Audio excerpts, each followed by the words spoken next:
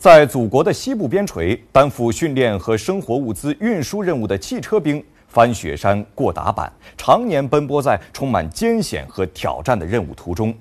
新疆军区某汽车运输旅四级军士长陈东方，已经在新藏线上来来回回跑了十六年。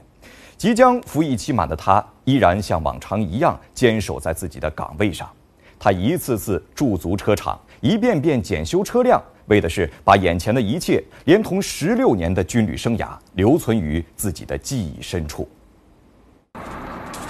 一大早，陈东方就带着徒弟刁延新来到车厂，检查第二天执行运输任务的车辆。每次出车必须仔仔细去检查。入伍十六年来，陈东方驱车新藏线一百余趟，累计在高原安全行驶三十多万公里。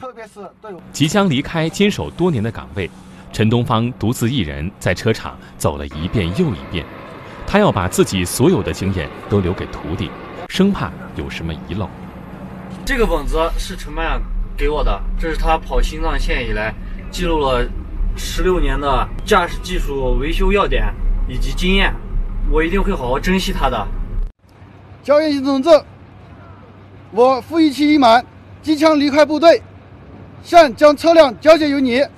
请师傅放心，我定将不负嘱托，继承发扬好昆仑铁骑精神，请交车。车辆交接仪式结束，车队又踏上了运送物资的路，车辆缓缓驶出营区，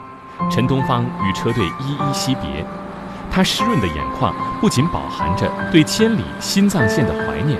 更蕴含了对军旅生涯的不舍。